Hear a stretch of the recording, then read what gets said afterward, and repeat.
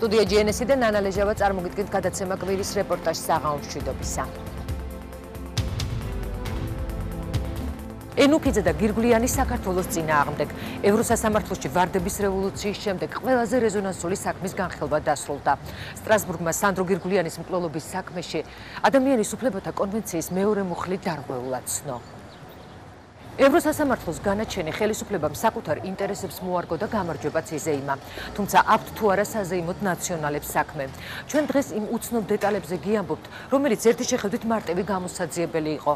თუმცა არც ჩინაგა საქმეთა სამინისტრო, არც პროკურატურა და არც სასამართლო ამ მნიშვნელოვანი ფაქტებით არ დაინტერესებულა. სისხლის სამართლის საქმე, რომელმაც სტრასბურგი გააოგნა. ნახეთ ჩვენი რეპორტაჟი.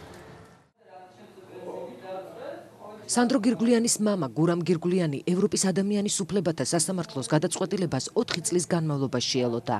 სარჩელი ენუქიძე და გირგვლიანი საქართველოს წინააღმდეგ ევროსასამართლოში 2007 წელს სანდრო გირგვლიანის მკვლელობიდან 1 წლის შემდეგ შევიდა. გადაწყვეტილება კი 2011 წლის 26 აპრილს გახდა ცნობილი. მე არ ვედი სასაფლაოზე. მარტო ავედით მე და ჩემი მამიდაშვილიშვილი და გუთხარი ყველაფერი იქ. ირინა, შენი სამართალი აღარ დამეთქი და ყველაფერი კარგად არის მეთქი. ძალიან ბევრი მერეკავს კიდევაც. და სხვადასხვა ძალიან ბევრი არის სახელმწიფო წარმომადგენლები, რომლებიც პირდაპირ მისხდება. აგურამ დიდი მადლობელი ვართ და გილოცავთ ამ გამარჯვებას. სასამართლომ დარღვეულად ცნო ადამიანის უფლებათა კონვენციის მეორე მუხლი, სიცოცხლის უფლება, კერძოდ კი მისი ერთი პროცესუალური ასპექტი. რაც შეეხება არსებით ასპექტს, სახელმწიფოს არ დაეკისრა პასუხისმგებლობა მისი აგენტების მიერ ჩადენილი დანაშაულის გამო, რადგან ისინი ამ მომენტში არასრულებდნენ პროფესიულ მოვალეობას. ეს გადაწყვეტილება სასამართლომ 4 ხმით 3-ის წინააღმდეგ მიიღო. 4 მოსამართლეში ერთი ქართველია, ირაკლი ადეიშვილი. მეორე მუხლი, ანუ სიცოცხლის უფლება დარღვეულად იქნა ცნობილი, ასევე ცნობილი იქნა ის მუხლი, რომელიც ითვალისწინებს დარღვეულად სასამართლოსთან სახელმწიფოს თანაშრომლობის ვალდებულებას. რაც შეეხება წამების საკითხს, რაც შეეხება გასაჩივრების ეფექტურ საშუალებას და სამართლიანი სასამართლოს უფლებას, სასამართლომ თქვა, რომ ეს საკითხები არის იმდენად ახლო და ვიწრო კავშირში სიცოცხლის უფლებასთან, რომ ისინი განიხილა სიცოცხლის უფლების ნაწილში და თქვა, რომ არ არსებობს სხვა რაიმე ისეთი გარემოება, რომლის გამოც მას დამოუკიდებლად უბრალოდ უნდა ემშელა. ცივილიზებული ქვეყნების მიმართ გამოტანილ გადაწყვეტილებებში სასამართლო ძალიან იშვიათად სარგებლობს ასეთი ფრაზეოლოგიით. ანუ გაოგონებული ვარ და ძლიერ ერთ-ერთ შემლია გამოთქვა ძლიერი წუხილი იმის გამო რომ ეს ასე მოხდა და ასე შემდეგ. ეს ძალიან ძალიან სერიოზული თვითონ ფორმის თვალსაზრისითაც შინაარსობრივთან ერთად არა? ეს ძალიან კაცრი კაცრი განაჩენია. საგარეო ურთიერთობათა კომიტეტის თავმჯდომარე აცხადებს, რომ სასამართლოს მიერ მორალური ზიანისთვის დაწესებულ თანხას სახელმწიფო დადგენილ ვადაში გადაიხდის. სასამართლოს გადაწყვეტილება კი ოპოზიციურმა პარტიებმა ვაჭრობის თემად არ უნდა აქციონ. ევროსასამართლოს გადაწყვეტილება პირველ არხზე დღის თემა, როგორც მოსალოდნელი იყო, არ ყოფილა. მოამბის მთავარ გამოშვებაში მას საინფორმაციოს დაწყებიდან მე-11 წუთზე შეეხნენ და გამარჯვებულად ხელისუფლება გამოიყვანეს, რადგან სახელმწიფო მოსარჩელე მხარეს მხოლოდ 50000 ევრო უნდა გადაუხადოს. კმაყოფ ყოფილიყო იუსტიციის მინისტრის პირველი მოადგილე თინა ბურჯალიანიც, რომელიც ევროსასამართლოში საქართველოს მთავრობას წარმოადგენდა. სახელმწიფოს გადაწყვეტილებით დაეკისრა ძალიან კონკრეტული ვალდებულება, ეს არის ფულადი კომპენსაციის გადახდა გამცხადებლებისათვის. ძალიან მნიშვნელოვანია, რომ არც ერთი სიტყვა გადაწყვეტილებაში არ არის ნათქვამი შესაძლო ხელახალი გამოძიების თაობაზე. იყო საქმის წარმოების პროცესში პერიოდი, როდესაც იმიტომ რომ ეს საქმე უკვე დაარქივებული იყო, იმიტომ რომ რამდენიმე ტომთან იყო რამდენიმე ტომისაგან შედგება ეს საქმე, გარკვეული დრო დასჭირდა ზოგიერთი მტკიცებულების მიწოდებას, ანუ არც ერთი მტკიცებულება არ ყოფილა, რომელიც არ წარმოიდგენია, ლაპარაკი იყო რაღაცა შეფერხებაზე, რომელიც სხვათა შორის სასამართლომ აღნიშნა, რომ ეს მტკიცებულები მან მიიღო და ამაზე ბუნებრივია სასამართლომ იმსჯელა. ჩვენ გავაკეთეთ ყველაფერი, რაც შესაძლებელი იყო, რათა შეგვემსუბუქებინა ოჯახის ტანჯვა, თუნდაც ეს არ იყო ყოველთვის იოლი. ჩვენ მოქმედებდით დროულად და კანონის შესაბამისად. ეს 2010 წლის 27 აპრილია. ეს იყო მე-60 შემთხვევა ევროსასამართლოს 60 წლიან ისტორიაში, როცა ევროპის ადამიანის უფლებათა სასამართლომ საქმეზე ზეპირი მოსმენა ჩაატარა. სწორედ ამ პროცესის შემდეგ გახდა ცნობილი ქართული საზოგადოებისთვის სისხლის სამართლის საქმის ის მასალები, რომელიც საქართველოში დახურული იყო. კრიმინალური ისტორია, რომელიც სანდრო გირგულიანის მკვლელობით დასრულდა, 2006 წლის 28 იანვარს შარდენბარში დაიწყო, სადაც ჩინაგა საქმეთა სამინისტროს გენერალური ინსპექციის უფროსის ვასილ სანუძის დაბადების დღეს აღნიშნავდნენ. სუფრასთან იმყოფებოდნენ კუდის უფროსი დათა ახალაია, მისი თანაშემწე ოლეგ მელნიკოვი, ჩინაგა საქმეთა მინისტრის მეუღლე თაკო სალაყაია, სამინისტროს პრესსამსახურის მაშინდელი უფროსი გურამ დონაძე და კიდევ რამდენიმე საზოგადოებისთვის ნაკლებად ცნობილი ადამიანი. მათ შორის იყო თათია მაისურაძეც, სანდრო გირგულიანის მეგობარი ქალი. ამ კადრებში, რომელიც სტრასბურგში გაიგზავნა, სწორედ მისი დაკითხვა ასახული. თათია მაისურაძე ყვება, რომ მოგვიანებით ბარში სანდრო და მისი მეგობარი ლევან ბუხაიძე მივიდნენ. სანდროს მეგობარი ქალი სუფრის წევრები არ მოეწონა. ვისთან ერთად ხარ ვინ არიან მას ბიჭები? მოთხე მე ამ ბიჭებთან ერთად არ მოსულა მეთქი გოგოებთან ერთად მოვედი და ესენი მათ თანახმდებლები არიან მეთქი. და თუ არ იცნო თუ უცხო ბიჭებთან ერთად საწოსი ხარ. როგორ დაინტერესებოდა? იცით რა ხმამ ახლა არ მისაუბრებოდა უბრალოდ აი ხელით დატოსი ხარ უცხო ბიჭებთან თუ არ ვიცი რა ნიშნობა მეთქი ვისთან დაჭერდა ხმა ეგ გაინტერესებს მეთქი და მაგის გასაკეთებლად მოხვედი მეთქი და მე ვისთან დაჭერდა მეთქი აქ და მე მითხრა უნდა ერთად როგორც იყო ყველაფერი ისე უნდა მითხრათ რა იმ სიტყვებით და პიდარასთან ერთად ამ პიდარასთან ერთად რატო შეხარ და მე ხაი რა მნიშვნელობა აქვს მეთქი ვისთან ერთად? შეო სანდრომ კითხა ამ ჩაჭერე დიახ რა თქმა უნდა ჩხარებს შესულს ეს ის ასკილია სადაც ჩვენ ძალე ჩაგვსვეს მანქანაში მე და სანდრო რა მარკის მანქანაში და ვინ თუ შეიძლება დააფიქსიროთ კონკრეტულად. ვერცხლისფერი ემელი, რომელიც მოგვიანებით სანდრო გირგულიანი და ლევან ბუხაიძე შარდენბარს ტოვებენ. სწორედ ამ დროს ახალგაზრდებს იტაცებენ და ოქროყანაში მიყავთ. ბუხაიძემ გაქცევა მოახერხა. სასტიკად ნაწამები სანდროს ცხედარი კი მეორე დღეს ოქროყანაში ხევში იპოვეს. მას 12 ჭრილობა ჰქონდა მიყენებული. ამ კრიმინალური ისტორიის გახმაურების შემდეგ დააკავეს კუდის პირველი სამართლოს უფროსი გერონტი ალანია. კუდის თანამშრომლები ალექსანდრე ღაჭავა, მიხელ ბიბილურიძე და ავთანდილ აფციაური. ამ ადამიანებს ბრალი წაუყენეს თავისუფლების უკანონო აღკვეთისა და ჯანმრთელობის განზრახ მძიმე დაზიანების მოხლით, რამაც გამოიწვია სიცოცხლის მოსპობა. ალანიას ბრალი სამსახურებრივი უფლებამოსილების გადამეტებაშიც დასდეს, ვინაიდან გატაცება კუდის მიერ დაყადაღებული ავტომანქანით მოხდა. სასამართლო მას 8 წლით, დანარჩენებს კი 7 წლით თავისუფლების აღკვეთა მიუსაჯა. მოგვიანებით უზენაესმა სასამართლომ ეს განაჩენი 6 თვით შეამცირა.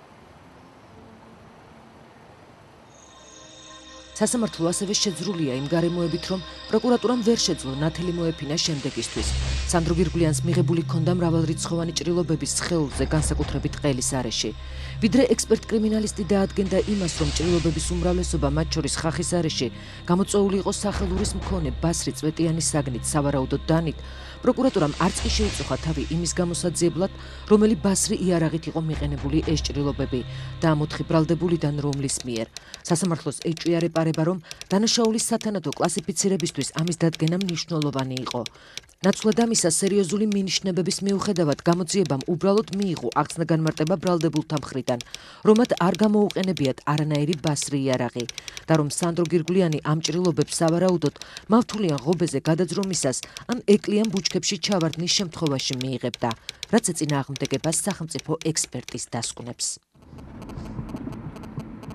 თავარი მოწმე ლევან ბუხაიძე თავდაპირველად არ ამხელდა რომ ოქროყანაში შარდენბარის სუფრის წევრი ოლეგ მელნიკოვიც ავიდა და განსაკუთრებული აგრესიით გამოირჩეოდა. ამის შესახებ ჩვენება მამ მხოლოდ სასამართლოს მისცა, თუმცა ჩვენება ჩვენებად დარჩა. და იყო ყველაზე ყველაზე აგრესიული. ეგზნობოდა რომ შესაძლებელია ნასვამის ყოფილიყო. და დადასტურებით მინდა ვთქვა რომ ეს იყო ოლეგ მელნიკოვი.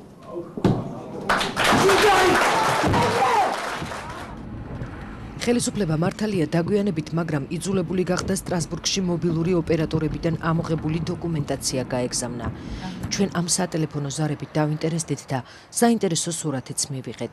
სატელეფონო ზარები იწყება მას შემდეგ, რაც სანდრო გირგულიანმა თათია მაისურაძის სუფრის წევრები უხეშად მოიხსენია. 01 საათი და 28 წუთი და თახალაია რეკავს ნომერზე 877 798960.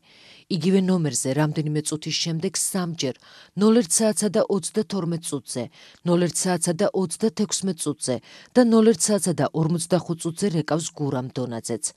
02 საათსა და 12 წუთზე, როცა გირგლიანი და ბუხაიძე უკვე ოქროყანისკენ მიყავთ, გერონტი ალანიას ტელეფონიდან ხორცილდება ზარი იგივე ტელეფონზე 87778960. 28 იანვრის ღამეს ასევე ორჯერ 87777960-ზე განხორციელებული აქვს ზარი ოლეგ მელნიკოვსაც, თუმცა ამ ფაილში სუსტი დრო მითითებული არ არის. ვის შეიძლება ეკუთვნოდეს ნომერი 87777960, რომელსაც იმ ღამით შარდენბარის სუფრის წევრები და დამნაშავეები უკავშირდებოდნენ. ამ საკითხით ევროსასამართლოც დაინტერესდა. გადაწყვეტილებაში ვკითხულობთ. პუნქტი 254. ტელეფონის ნომერი 87777960. აკრეფილი იყო ყველაზე მეტჯერ იმ ღამეს, როგორც გერონტი ალანიას მიერ, ასევე შინაგან საქმეთა სამინისტროს თანამშრომლის მიერ, რომელიც ასევე კაფეში იმყოფებოდა. დათა ახალაიამ დაადასტურა, რომ ეს ნომერი ეკუთვნოდა მათ საერთო მეგობარს, ფილმე მს, ეს ჩვენება თავის მხრივ უპირისპირდება იმ ინფორმაციას, რაც მოწოდებული იქნა შესაბამისი მობილური სატელეფონო კომპანიის მიერ, რომლის თანახმადაც ეს ნომერი ეკუთვნოდა ვინმე კნს, შეზღუდული პასუხისგებლობის საზოგადოებიდან ფალკო. მიუხედავად ამ ურთიერთსაწინააღმდეგო გარემოებებისა, შიდა ორგანოები არც კი შეწუხდნენ იმისთვის, რომ ამ ნომრის მფლობელის ზუსტი ვინაობა დაედგინათ. გამოძიება დღემდე არ დაინტერესებულა ვის ეკუთვნის ტელეფონის ნომერი 87777960, რომელიც 2006 წლის შემდეგ გაუქმებულია. ანალოგიური ინდექსი თავის დროზე ნაციონალური მოძრაობის კორპორატიული საკუთრება იყო და ყველა ცნობილ ნაციონალს ერთმანეთთან მსგავსი ნომერი ჰქონდა. ამ ნომრებიდან ბევრი დღესაც მოქმედია. ვანო მერაბიშვილს ეკუთვნის ტელეფონის ნომერი 8777 798905. გიორგი არველაძე 798966 დავით კირკიტაძე 798978 და 798979 ლადო ვარძელაშვილი 798906 გივით არგამაძე 798987 ზურაბადეიშვილი 798903 ჯეოსელის ბაზაში ვკითხულობთ, რომ ეს ერთმანეთთან მსგავსი ათეულობით ნომერი ერთ ადამიანზე, ვინმე კახა ნიკურაძეზეა გაფორმებული. მხოლოდ რამდენიმეა გაფორმებული ჯანდაცვის უშიშროებისა და კულტურის სამინისტროებზე. და დაახლოებით მტკიცებით, ეს ნომერი მათ საერთო მეგობარს და კოლეგას, ვინმე მეტრეველს ეკუთვნის.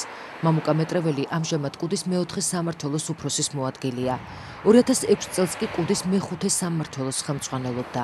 გამოძიებას ჯერ კიდევ არ დაუდგენია რატომ უკავშირდებოდა ამ ნომერს ახალაიაც დონაძეც ალანიაც და მელნიკოვიც დროის თითქმის ერთი და იგივე მონაკვეთში ეს ის პირებია, რომელიც ხელისუფლებამ სტრასბურგში ორჯერ მოთხოვნის შემდეგ გაგზავნა და ისიც დაჩეხილი. არეულია ქრონომეტრაჟი. თქვენ კადრში ხედავთ დროს 02 საათი და 13 წუთი. ეს ის დროა, როცა ოქროყანის გზაზე გამტაცებელთა ავტომანქანა მოძრაობს. ქრონომეტრაჟში ამოჭრილია ყველაზე დიდი დრო 02 საათი და 24 წუთიდან 02 საათსა და 51 წუთამდე. დაზარალებული მხარე მიიჩნევს, რომ სავარაუდოდ სწორედ ამ დროს ავიდა ოქროყანაში მელნიკოვი, რომელიც ოფიციალური ვერსიით თაკო სალაყაიასთვის სიგარეტის საყიდლად გავიდა. მოსარჩელე მხარე დარწმუნებულია, რომ მინისტრთა კომიტეტი ხელისუფლებისგან საქმის ხელახლა გამოძიებას მოითხოვს. ასრულებს რეკომენდაცია მინისტრთა კომიტეტის 2000 წლის ნომერი 2, რომელიც ითვალისწინებს, რომ იმ შემთხვევაში, როდესაც ადგილი ქონდა კონვენციის რომელიმე მუხლის დარღვევას, უნდა მოხდეს საქმის ხელახალი გამოძიება. არსებობს საქართველოს წინააღმდეგ მიღებული ორი გადაწყვეტილება, რომელიც კანონიერ ძალაში არის შესული, ეს არის დავთიანი საქართველოს წინააღმდეგ და დანელია საქართველოს წინააღმდეგ. არც ერთ ამ გადაწყვეტილებაში არ არის მითითებული სახელმწიფოს ვალდებულების შესახებ, რომ დაიწყოს ხელახალი გამოძიება იმ საქმეებზე, რომელთა გამოც კონკრეტული მუხლების დარღვევა ულაცნობა მოხდა ევროპული სასამართლოს მიერ, მაგრამ ევროპული კომიტეტი დღევანდელი მდგომარეობით მინისტრთა კომიტეტი სთხოვს და მოთხოვა უკვე საქართველოს მთავრობას მოხდინოს საქმის ხელახალი განხილვა. ეს მძიმე დანაშაული არ იქნა სათანადოდ გამოძიებული ჯერ შინაგან საქმეთა სამინისტროს მიერ, შემდეგ პროკურატურის მიერ, უკვე აღსრულების ეტაპზეც მოხდა ისე, რომ ნაადრევად იქნენ ეს ადამიანები გაშვებული ციხიდან ეს ყველაფერი ევროპულ სასამართლოს შეფასებით ნიშნავს იმას, რომ ხელისუფლების შტოებიო, სხვადასხვა შტოებიო მოქმედებდნენ უნისონში, მოქმედებდნენ შეხმატკბილებულად ერთადერთი მიზნით, რომ როგორმე ამ საქმეზე მართსაჯულება არ განხორციელებულიყო. ეს ძალიან ძიმე შეფასება სამართლებრივი თვალსაზრისით. ევროსასამართლო იმითაც გაოგნებული დარჩა, რომ პრეზიდენტმა ასეთ მძიმე დანაშაულში ბრალდებულები შეიწყალა. 2008 წლის ნოემბერში მიხელ სააკაშვილის ბრძანებით მათ სასჯელი გაუნახევრდათ. 2009 წლის აგვისტოში კი უდოს კომისიამ გაათავისუფლა. დღეს ოთხივე დამნაშავე ჩვეულებრივი ცხოვრებით ცხოვრობს. გავრცელებული ცნობით გია ალანია დღესაც კუდის არაოფიციალური თანამშრომელია. ეს კადრები მის საცხოვრებელ სახლთან ნუცუბიძის ქუჩაზეა გადაღებული. გირგლიანის მკვლელობას არჩარდენ ბარის სუფრის მონაწილეების ცხოვრება შეუცვლია. დათა ახალაია და ვასილ სანოძე მხოლოდ დროებით და ფორმალურად ჩამოაცილეს სამსახურს. გურამ დონაძე კი დღეს ტელეკომპანია Real TV-ს უფროსია. კითხვებზე, რომელიც გირგლიანის მკვლელობის გარშემო 5 წლის შემდეგაც არსებობს, ამ ადამიანებმა ხელახალი გამოძიების დროს მაინც უნდა გასცენ პასუხი. ახლა ამას ქართულთან ერთად ევროპული საზოგადოებაც დაელოდება.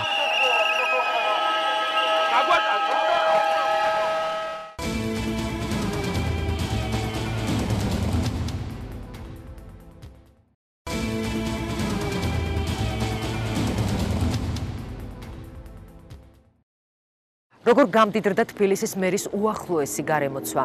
წავკისის ყველაზე პრესტიჟულ და ძვირადღირებულ ნაწილში სამი ვილა შენდება. აქ ცხოვრები ადამიანები კი მათ მესაკუთრეებად სწორედ ქალაქის მერის გარემოცვას ასახელებენ. რამდენი მილიონი უჯდება მუნიციპალური საწარმო თბილისის წყლის ყოფილ დირექტორს წავკისის სასახლე და რა ბიზნეს ურთიერთობები აკავშირებს გეგა ქელბაქიანს გიგი უგულავასთან. ანა გოჩაშვილი გიამბობთ. არა სახლი ერთი ეგერა მეორე ეგერა ვიღაცებისა რა ერთი აშენებული და დამთავრებულია ვისი არ ვიცი. თბილისი დიდგორის რაიონის სოფელი წავკისი აქ პრესტიჟული საცხოვრებელი სახლი თითქმის აღარავის უკვირს, თუმცა ადგილობრივების ყურადღება ერთმა მშენებლობამ მაინც მიიპყრო. დიდი გალავნით გარშემორტყმულ მიწის ნაკვეთზე ერთდროულად სამი ფეშენებელური ვილის მშენებლობა მიმდინარეობს. სამუშაოებზე კონტროლი ვიდეო კამერებით ხორციელდება. გასაიდუმლოებულია მფლობელის ვინაობაც. მშენებელთა ახალი ბრიგადა აქ სულ 2 დღის წინ მივიდა. მათ სამუშაოების მაქსიმალურად მოკლე დროში დასრულება უნდა შეძლონ. ვინ აშენებს ზემოისთან? ველოდებით. მერიდან გამოვიდა. ხო. ჯვარ ტელევიზია არის მოსული და ვიღაცები არიან და ვის ვის ახს ვაშენებთ? ახანა რა უთხრა მე რა ვიცი.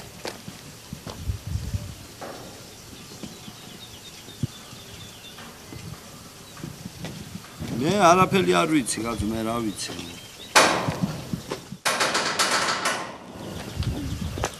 ო, კარგი, კარგი, რა ვთქვა. არც აბად არის ვინ საქმე მომწადა მე შენებლობაზე ჩვენი მისვლის შემდეგ მე პატრონის ვინაობით დავად მუშებიც დაინტერესდნენ და ინფორმაციის გადამოწმება ბრიგადის მეთაურთან სცადეს. თუმცა ვინმე გოჩა ვაშაკიძემ მათ ყველანაირი ინფორმაციის გაცემა აუკრძალა. რამდენიმე წუთში კი მორიგის სატელეფონო ზარიც განხორციელდა, რომელმაც გადამღებ ჯგუფთან გასაუბრება ისურვა. ალო, მე ვარ გიორგი მხრია. რაში გაინტერესებს? მითხარ რომელი ტელევიზიიდან ხარ? მოხოდია ჩემ ეზოს საკუთრებას იღებ და რაში გაინტერესებს მითხარ? ვინ აშენებს?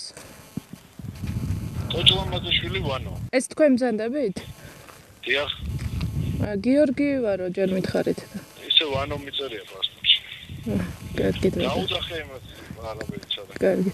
გადააგებინო და რა ამ სატელეფონო ზარის შემდეგ მუშები ტერიტორიის დატოვებას ვკითხავენ.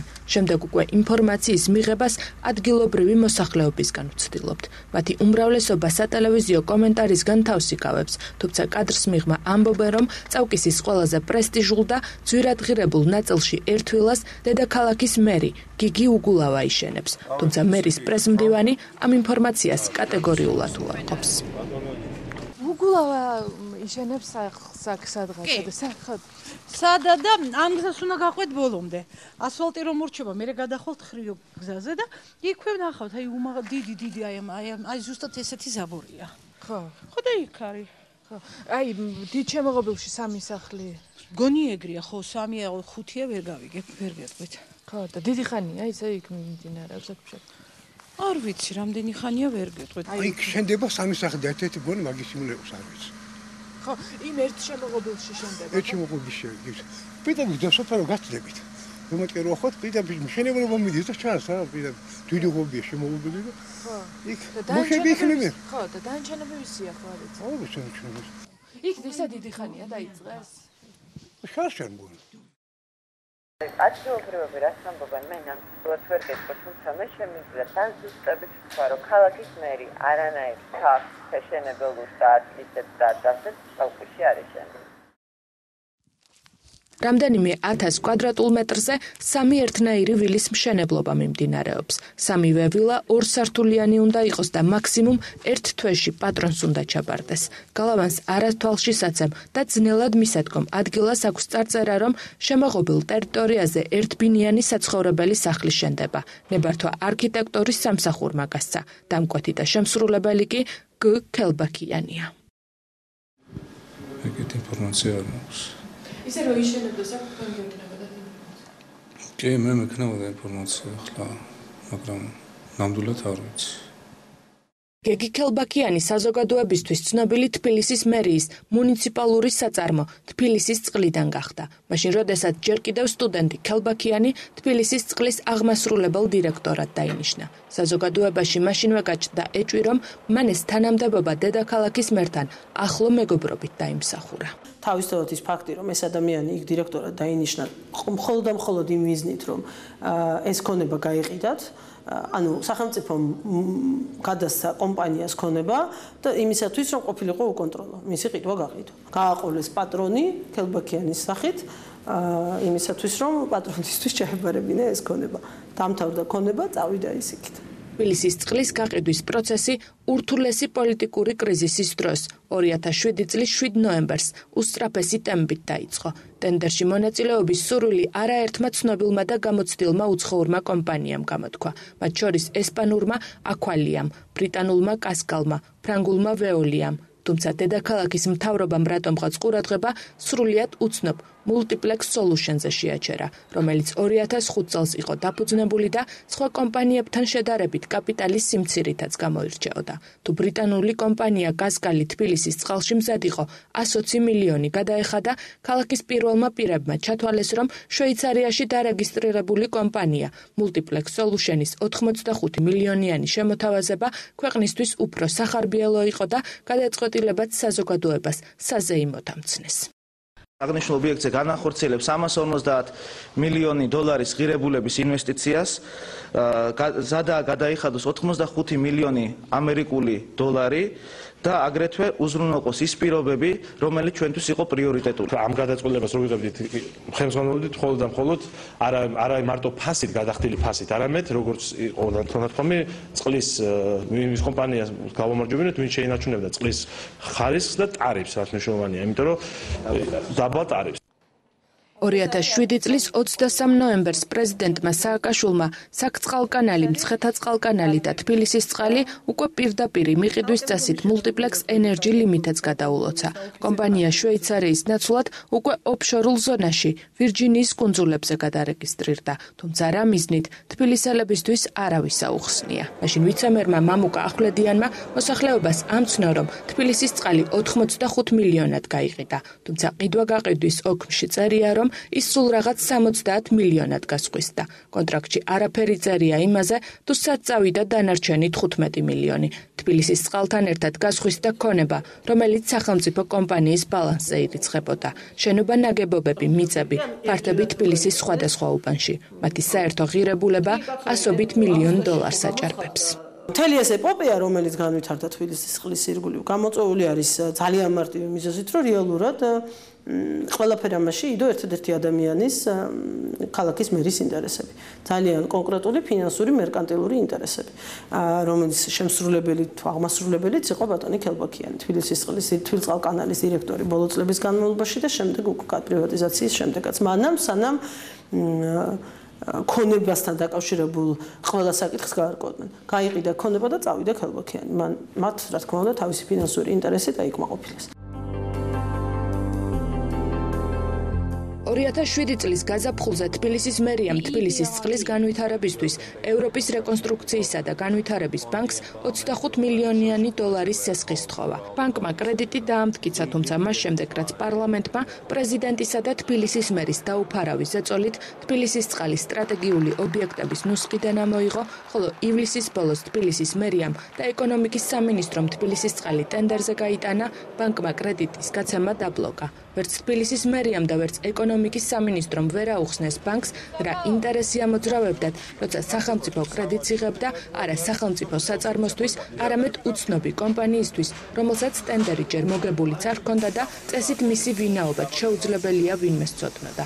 არასამთავრობო ორგანიზაციამ მწვანე ალტერნატივაში მიაჩნიათ, რომ თბილისის წყლის გასხვისების პროცესში მართველი გუნდის კორუფციული ინტერესები პირდაპირ იგოთება. ძალიან უცნაური იყო ჩვენთვის ეს ფაქტი, იმიტომ რომ ძალიან დიდი მონდომებით იბრძოდნენ ამ თანხისთვის. თუ კი შენ არ გჭირდება, ესე იგი ზრუნა ვიღაცა კომპანიაზე, ვიღაცა აბსტრაქტულ კომპანიაზე, რომელიც არც იცი ჯერ ვინ არის, ის ზრუნავ რომ იმას მოუპოვო 20 მილიონი, ხო? რაღაცა ძალიან აბსურდული სიტუაცია იყო. ამის მერე ჩვენ დაუკავშირდით ევროპის რეკონსტრუქციისა და განვითარების ბანკს და აუხსენით, რომ ესეთი სიტუაცია იყო, საწარმო იყიდებოდა და ეს თანხა, რა თქმა უნდა, ბანკმა იმ დღესვე უარი თქვა ამ თანხის გაცემაზე. წვანე ალტერნატივამ დედაქალაქის მერიიდან არაერთხელ გამოითხოვა ხელშეკრულება, რომელიც დედაქალაქის მერიასა და Multiplex Solutions შორის გაფორმდა, თუმცა მათი მოთხოვნა არც ერთხელ არ დაკმაყოფილდა. მიზეზად მისი კომერციული საიდუმლოება დასახელდა. წვანე ალტერნატივას უარი ეთქვა პრეზიდენტის ბრძანებულების გადაცემაზეც, რომელიც 2010 წლის თებერვალში გამოიცადა, რომლითაც თბილისის წყალს დაკისრებული ვალდებულებების შესრულება გაურკვეველი ვადით გადაუვადა. თავის დროზე კი შესასრულებელი შესრულებელი ვალდებულებების საბანკო გარანტია საკუთარ თავზე Silk Road ბანკმა აიღო.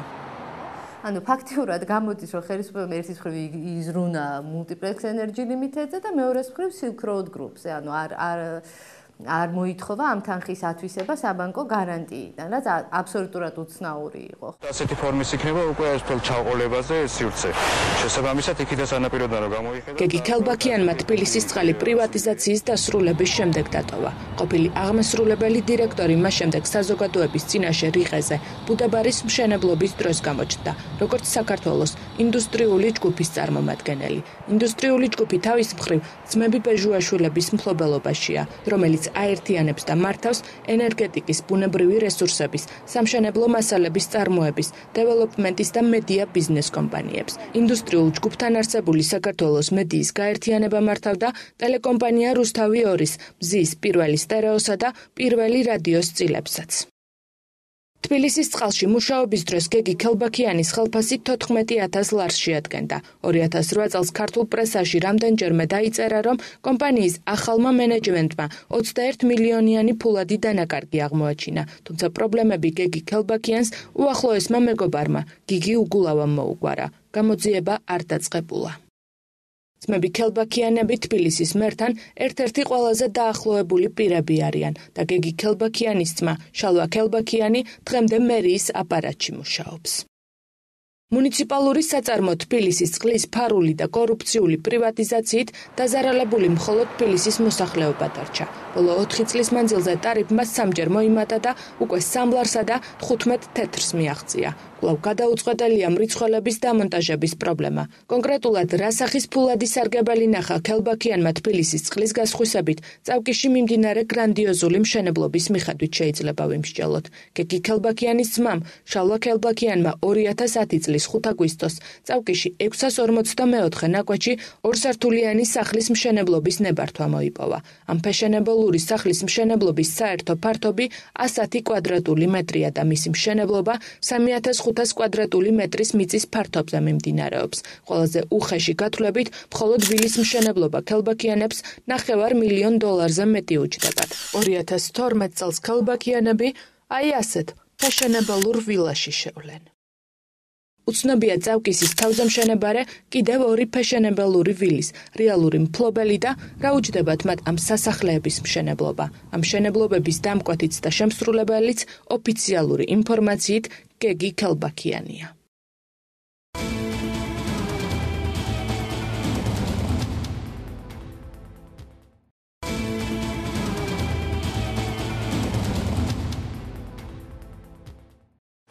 ადამიანი, რომელსაც ახლა მოგიყვებით პრეზიდენტის მოწოდებაზე რუსეთიდან დაბრუნებული ბიზნესმენია, რომელსაც ყარლის რაიონში იუსტიციის მინისტრის ნათესავები წილში ჩაჯდომას თხოვდნენ. იმართება თუ არა რეგიონები ისევ შევარდნაძის დროინდელი მეთოდებით. ნახეთ იმედა დარსალია სიუჟეტი.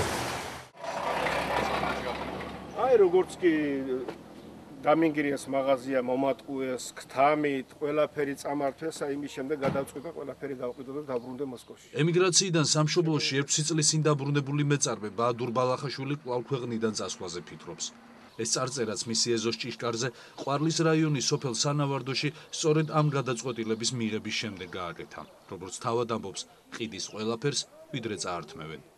ადეიშვილი შალვა არის ჩვენი იუსტიციის მინისტრის მამა. რომელიც კახეთში განაგებს ყველაფერს. გადაწყვეტილებად იმას შემდეგ მიიღო, რაც საბოლოო დარწმუნდა, რომ სოფელ სანავარდოში ვერც მცირე ბიზნესის კეთებას დაიწყებდა და მის დატერორებასაც არ შეეშვებოდნენ. ბადურ ბალახაშვილი საქართველოს იუსტიციის მინისტრ ზურაბ ადეიშვილის მამას და ნათესავებს უჩივის. ყვარელი ადეიშვილების მშობლიური რაიონია. ჩვენზეა დამოკიდებულიო შენო სოფელში ცხოვრებო, არის ცხოვრებო, ვინ ხარ ეს? ეს ადეშვილის ნათესავები. წლების მანძილზე რუსეთში მცხოვრები ბადურ ბალახაშვილი პრეზიდენტ სააკაშვილის მოწოდებას გამოეხმაურა და საქართველოს მოქალაქეობა მიიღო. პრობლემები მას შემდეგ დაიწყო, რაც ბალახაშვილებმა ემიგრაციაში დაგროვილი ქონების დაბანდება სანავარდოში გადაწყვიტეს. სოფლის ცენტრში მალევე ორსართულიანი მაღაზიის მშენებლობაც დაიწყეს. მაღაზიის ამუშავებამდე კი ოჯახს ამ ბიზნესიდან შემოსავლის 30% წინასწარ მოსთხოვეს.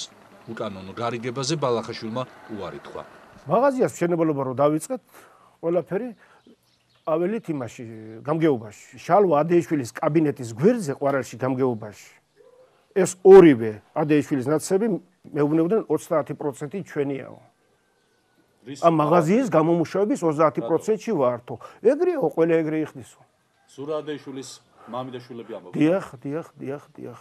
იხდის რას ნიშნავს? როგორ იხდის, უნდა გადაიხადო, როგორ შენ გააგდა, როგორ როგორ ჩვენ არ გვინდა უკაც. ხო. მე რე უარი თქვი.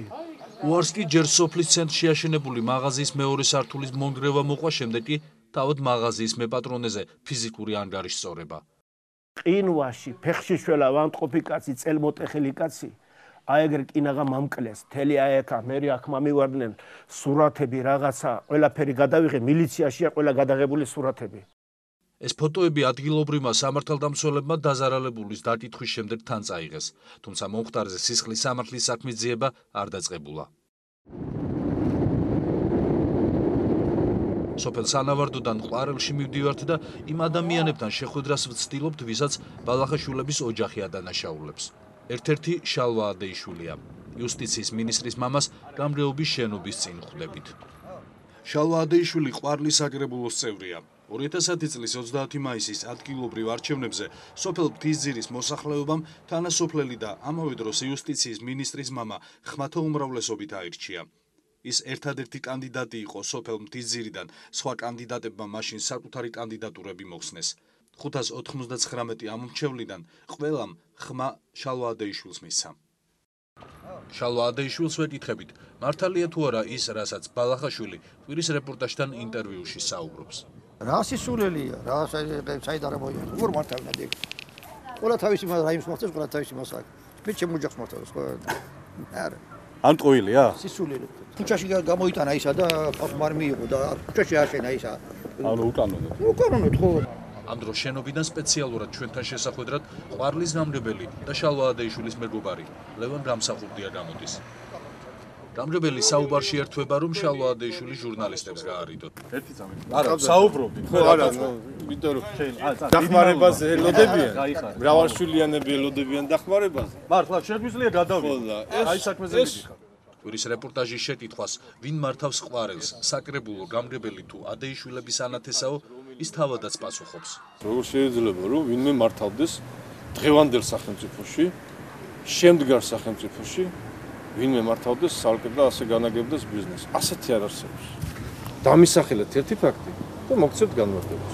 ეს გეტყვით რომ მართავ ბიზნესის დასაწყებად 30%-ში წინში უჯდებიან ადეიშვილები? სისულელეა. აი ძალიან დიდი მადლობა გენდობი. სისულელე. პასუხს ვაგებ ჩემ დათქვას. დიდი მადლობა გამსახურდიასთან საუბრის შემდეგ ვინტერესდებით ადგილობრივების აზრითაც თუ ვინ მართავს რაიონს. ყვარელში ამ თემაზე თითქმის არავინ საუბრობს. შალვა ადეიშვილის სოფელში ჩასულები გზაზე მთის ძირის სკოლასთან ჩერდებით, სადაც ადგილობრივ მცხოვრებლებს ხვდებით. ამ სკოლაში იუსტიციის მინისტრი ზურაბ ადეიშვილი სწავლობდა. მართალია რაიონს და სოფელს შალვა ადეიშვილი მართავსო? კი, გაწვი ლაი თორეა. თავარი როგორ? სოფელსა, სოფელს ეგარი. არა, თავარი როგორ არის სოფელს თავისი გამგებელი არ გავს? კი, ეგარ გლავი თოი. გამგებელი არ არის გლავი?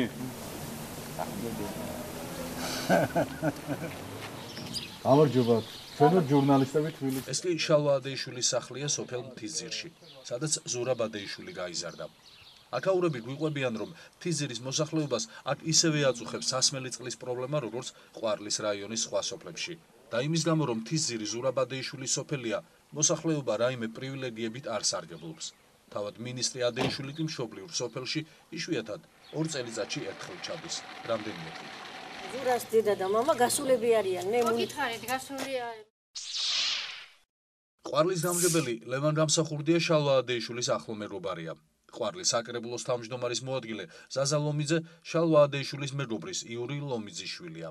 ორივე ერთად კი ადეიშვილის კადრია. კახეთი რომ ნეპოტიზმის ერთ-ერთი საუკეთესო მაგალითია საქართველოში, ამას ევრაზიის ფონდის მიერ დაფინანსებულ საგამოძიებო სტატიაში კახეთის საინფორმაციო ცენტრის ჟურნალისტებიც წერენ. ეს ნეპოტიზმის სქემის მცირე ნაწილია, რომელიც კახეთში მოქმედებს. კახეთის გუბერნატორ გიორგი ღვინიაშვილის ნათესავია სიღნაღის მუნიციპალიტეტის გამგებელი ნოდარ კოჭლამაზაშვილი. ასევე მაია ნარიაშვილი, რომელმაც გურჯაანის მუნიციპალიტეტის გამგებლის თანაშემწის თანამდებობა გუბერნატორად გიორგი ღვინიაშვილის დანიშვნის შემდეგ მიიღო. კახეთის გუბერნატორის ადმინისტრაციის რეგიონული განვითარების სამსახურში თავარი სპეციალისტის თანამდებობაზე მაია ნარიაშვილის ქმარი გელა კაპანაძე მუშაობს. კახეთის გუბერნატორის პირველი მოადგილე გიორგი სიბაშვილი რეგიონში საკადრო პოლიტიკას განაგებს. ის გურჯაანის საკრებულოს თავმჯდომარე ზაქარია იაგანაშვილის შვილის ნათლია. ლაგოდეხის საკრებულოს თავმჯდომარე გიორგი გოზალიშვილი კი დაუდ გიორგი სიბაშვილის ბავშვის ნათლია.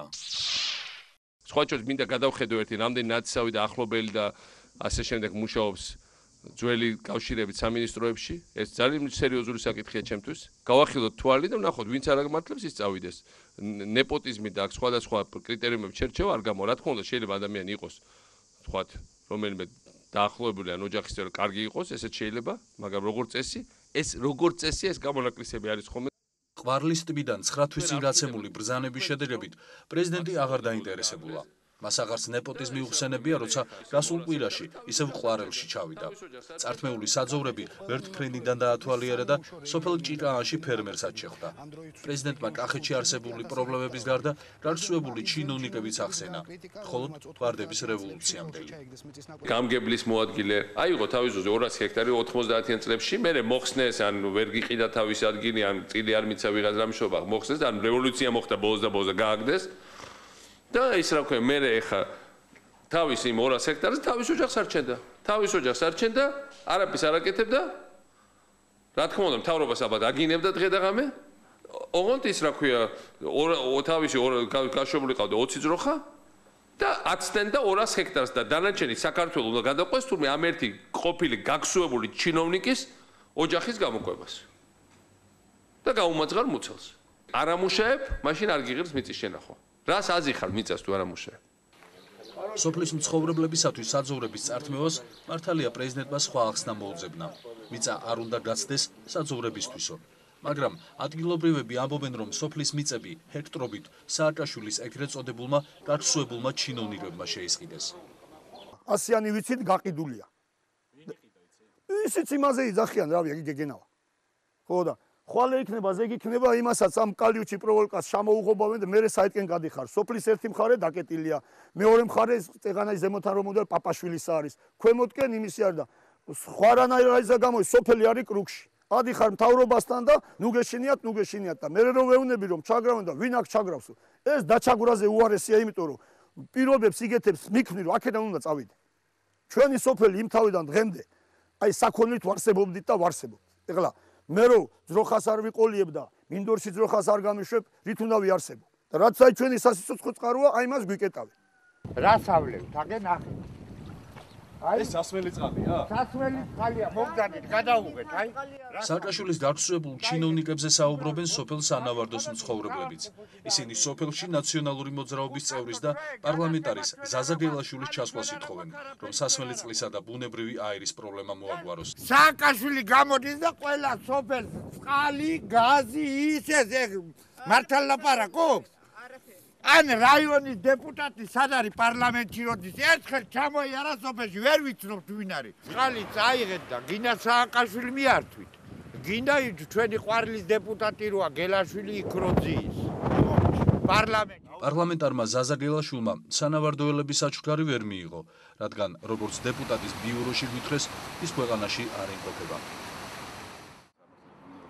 ფსიქოლოგი გაგანი ჟარაძე სწორედ იმ ზიანზე საუბრობს, რაც ნეპოტიზმს სახელმწიფო მართლობისთვის მოაქვს. ამბობს, რომ რეალური თვითმართველობის ნაცვლად რეგიონები დღესაც იმავე მეთოდებით იმართება, როგორც კომუნისტების დროს და შევარდნაძის პერიოდში.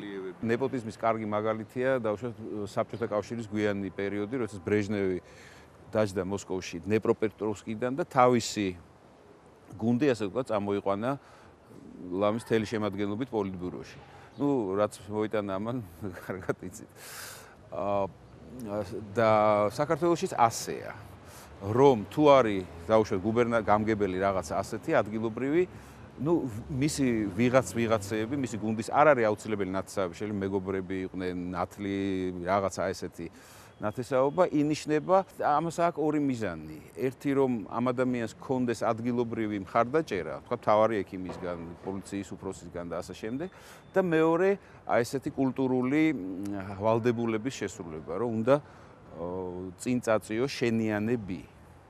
არა მგონია, მე მაგალითად ჩემი სამინისტრო თი შემიძლია გითხრა და ასევე სხვა სამინისტროებშიც. ნიშნულობა ენიჭება ადამიანის პროფესიონალიზმს და ცოდნას. უარი დამისახელეთ დანიშნული ადამიანის. ფაქტები უნდა მოიყვანოთ. ხალხი შეცდომაში კი უნდა შეიყვანოთ. ფაქტები უნდა მოიყვანოთ. დამისახელეთ. დღეს არსებობს თუ არა რეალურად ნეპოტიზმის პრობლემა?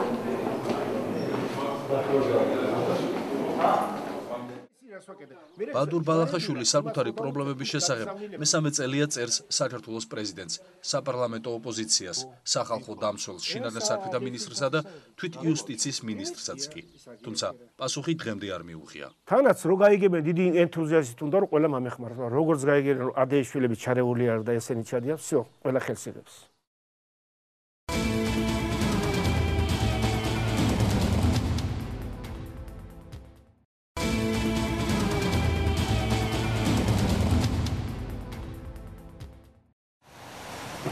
ასი მილიონი დოლარის საქმე. საქართველოს სახელმწიფოს ისრაელის თავდაცვითი სისტემების ერთ-ერთი უმსხვილესი მწარმოებელი კომპანია უჩივის. აღმოჩნდა, რომ საქართველოს მთავრობამ უპილოტო თვითმფრინავები შეიძინა, საფასური კი არ გადაიხადა. რა ხდება მაშინ, როცა ინფორმაცია თავდაცვის სამინისტროს შესყიდვების შესახებ დახურულია? ნახეთ ზვიად ხელიძის რეპორტაჟში. ეს 2008 წლის 20 აპრილის კადრებია. აფხაზეთის სანაპიროსთან ქართული უპილოტო თვითმფრინავი, რომელიც სადაზვერო საქმიანობას ეწეოდა, რუსულმა ავიაგამანადგურებელმა აღმოაჩინა და ჩამოაგდო. საქართველოს ხელისუფლებამ მომხდარი მაშინვე უარყო და განაცხადა, რომ საქართველოს უპილოტო თვითმფრინავები შეიარაღებაში არ გააჩნდა. თუმცა მომხდარიდან რამდენიმე საათში ოფიციალურმა პირებმა არა მარტო 20 აპრილის ინციდენტი აღიარეს, არამედ ეუთოსთვის გაგზავნილ ნოტაში ისიც აღნიშნეს, რომ 2008 წლის 20 აპრილს განადგურებული საფრენი აპარატი რიგით მესამე იყო. ორი დღის შემდეგ პრეზიდენტმა სააკაშვილმა უკვე ნიუ-იორკ ტაიმსისთვის მიცემულ ინტერვიუში აღიარა, რომ საქართველოს შეიარაღებაში 40 უპილოტო თვითმფრინავი ჰყავდა.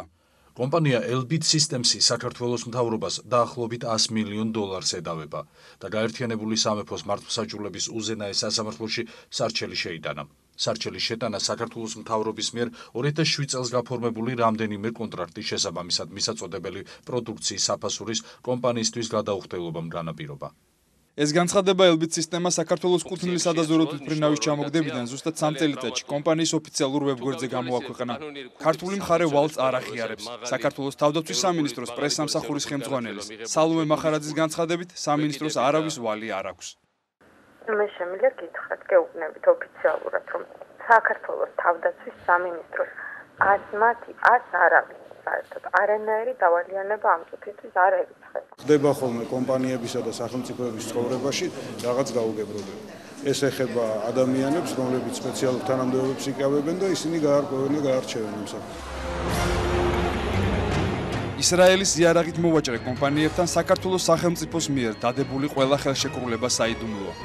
ამდენად დღემდე უცნობია გადაიხადა თუ არა საქართველოს ხელისუფლებამ 100 მილიონი დოლარი ელბიტ სისტემის მიერ მოწოდებულ პროდუქციაში. საქართველოს თავდაცვის სამინისტროს პრესსამსახური ხელშეკრულების გასაჯაროების შესახებ ინფორმაციის გადამოწმებას დაგვირდა, თუმცა დანაპირები არ შეუსრულებია. თუ ხელისუფლება ფიქრობს, რომ ეს კონტრაქტი არის შეიცავს საიდუმლო ინფორმაციას, მაშინ ხელისუფლებამ უნდა წარმოადგინოს შესაბამისი საფუძვლები დავამტკიცებელი თუ რატომ არის ეს კონტრაქტი საიდუმლო. საქართველოს პარლამენტის თავდაცვისა და უშიშროების კომიტეტის 2007 წლის ოქმებიდან ჩანს, რომ განსაჯაროებული ხარჯები, რომლითაც სავარაუდოდ უპილოტო თვითმფრინავები შეიძინეს, სხდომებზე არ განუხილავთ.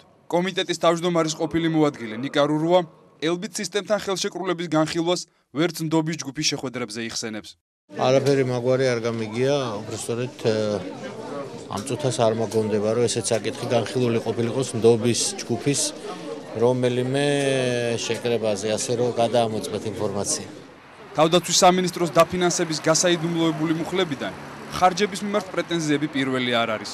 და ყველა ეს პრეტენზია უკავშირდება პერიოდს, როდესაც საქართველოს თავდაცვის სამინისტროს ისრაელის ბიზნესტრებთან დაახლოებული ორმაგი საქართველოს და ისრაელის მოქალაქეობის მქონე დავით კეზერაშვილი ედგა სათავეში. 2010 წელს ამერიკის შეერთებული შტატების ფედერალურმა პროკურორებმა საგარეო კორუფციული პრაქტიკის აქტის დარღვევასთან დაკავშირებით 22 ამერიკელ ჩინოსანს ქრთამის აღების მცდელობაში ბრალი წაუყენეს. ბრალდებაში საქართველოსთან დაკავშირებით სამი ეპიზოდი გამოჩნდა. პირველ ეპიზოდში ნათქვამია, რომ 2008 წლის თებერვალში კომპანია ALC Technologies წარმომადგენელს დენიელ ალვირეს რომელიც საქართველოს ხელისუფლებას ზიარაღის შეძენაში ეხმარებოდა ისრაელიდან დაუკავშირდა კომპანიის პაზ ლოჯისტიკის მეპატრონე ოფერ პაზი რომელმაც საქართველოს მთავრობასთან 14 მილიონი ერთეული M855 ტიპის ვაზნის მიყიდვაზე ხელშეკრულება გააფორმა. ალვირეზმა იცოდა, რომ ოფენპაზი საქართველოს მთავრობის ჩინოსნებს ქრთამს უხდიდა, რათა მათ კონტრაქტის გაფორმებისთვის ხელი შეეწყოთ. აგენტმა ვაზნების პარტია ისრაელში 3.9 მილიონ დოლარად შეიძინა. ხოლო 4.7 მილიონ დოლარად საქართველოს მთავრობას მიჰყიდა. ალვარეზმა ამ გარიგებიდან საკომისიო სახით 112.000 დოლარი მიიღო. თვითონ აი ეს ნება კორუფციული გარიგება საქართველოს მთავრობასთან გულისხმობს იმას, რომ საქართველოს მთავრობის რომელიღაც მაღალი რანგის ჩინოვნიკთან, იმიტომ რომ სწორედ წერია სიტყვა სიტყვით საქართველოს მთავრობა, ანუ იგულისხმება რაც ინგლისურ government-ს გულისხმობს პირველ ყოვლის აღმასრულებელი ხელისუფლება უნდა იგულისხმებოდეს, რომ აი ეს კორუფციული გარიგება იყო ან ორივე მხარემ შეგნებულად ჩაიდინა უკანონო ქმედება. გამოძიების მეორე ეპიზოდის მიხედვით 2008 წლის ივლისში ამერიკის მოქალაქე საულ მიშკინმა, რომელიც საქართველოს მაღალ ჩინოსნებთან ისრაელის მოქალაქე შაფთაი ბატაშულმა დააკავშირა, საქართველოს 7.2 მილიონი ერთეული საბრძოლო მასალის პარტია მიჰყიდა. ალვარეს აქედან 57600 დოლარი ერგო.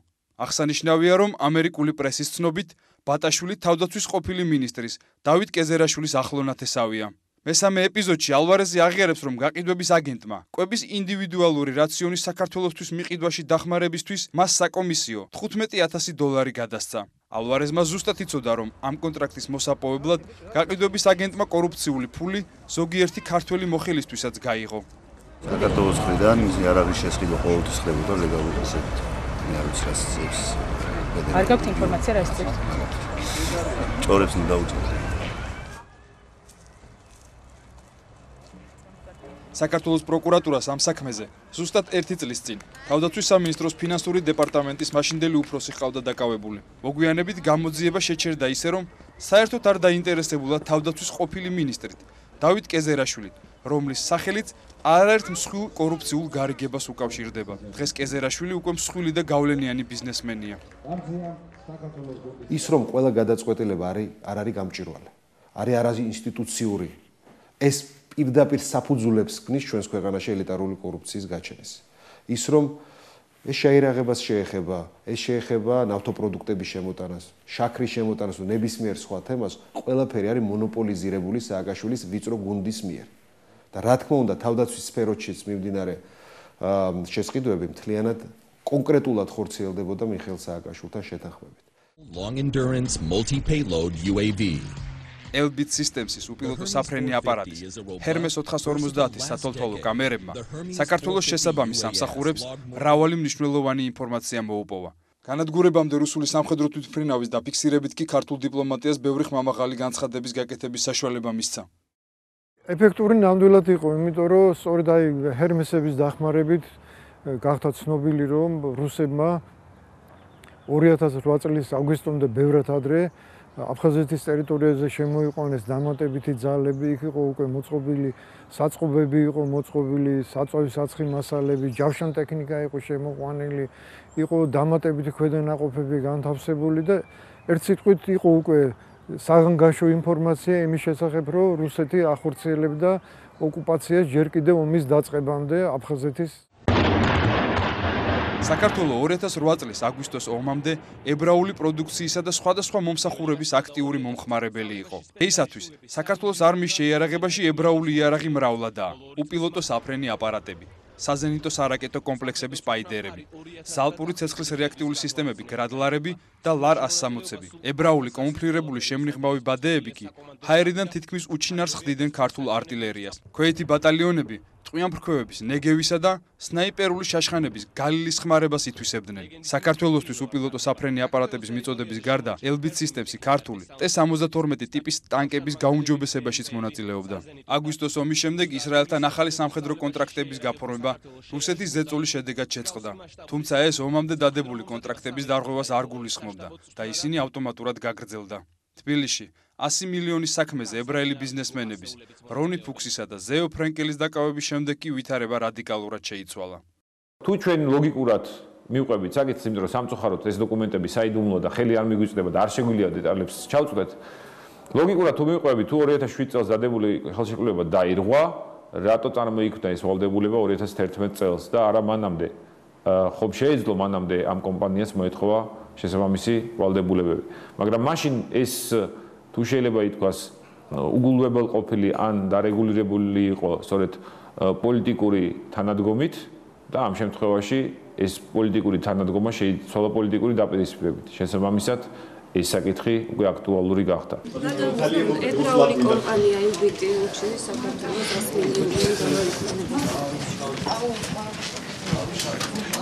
არ ვაკეთებ კომენტარს. აი, მოიჩი. კონკრეტულად რომელმა ქართულმა მაღალჩინოსნებმა აკიდეს საქართველოს მოქალაქეებს მორიგი 100 მილიონიანი ტვირთი. რამდენად კანონიერად იქნა უპილოტო თვითმფრინავები შეძენილი და რა გახდა ისრაელთან აღებული ვალდებულებების შეუსრულებლობის მიზეზი? ამ თემაზე საუბარს საქართველოს მთავრობის წევრები დღემდე გაურბიან. საქართველოს სახელმწიფოს კითხვებზე პასუხისგაცემა მალე გაერთიანებული სამეფოს მართლმსაჯულების უზენაეს სასამართლოში მოუწევს. ჩვენი გადაცემა ამით დასრულებულია მე ზუსტად ერთი კვირით გემშვიდობებით კარგად ზანდებოდეთ